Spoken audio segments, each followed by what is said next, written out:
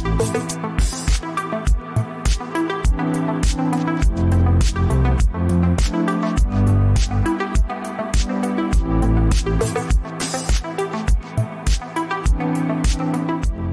chào quý khán giả thân mến, tôi rất vui được chào mừng các bạn đến với kênh Solar Match và tôi là Sang Sô Đức đang ở cùng bạn tại đây và chúng tôi đang ở công trường xây dựng phòng thiết kế và công nghệ Solar Match Tôi đang tự hỏi bản thân liệu bạn có cảm thấy mệt mỏi với những tin tức của chúng tôi hay không?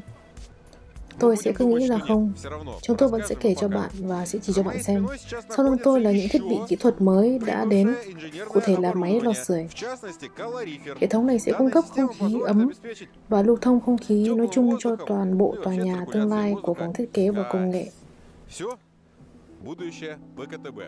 Thời tiết vẫn còn rất là rét. Hôm nay nhiệt độ không phải là âm 20 nữa nhưng mà dù sao cảm giác cũng rất là thú vị. Phía trước còn rất là nhiều việc phải làm. Chiếc xe tải đầu tiên đã được ờ, dỡ thiết bị ra. Một số lượng xe nữa cũng sẽ phải sắp đến. Và tôi nghĩ rằng trong video các thợ quay phim của chúng tôi sẽ chỉ cho quá trình dỡ thiết bị ra như thế nào. Và như người ta hay nói, chúc mừng năm mới nhưng mà chúng tôi chưa chúc mừng các bạn điều này. và tại sao? bởi vì là một năm vẫn chưa kết thúc. Hãy tiếp tục theo dõi các thông tin nhé.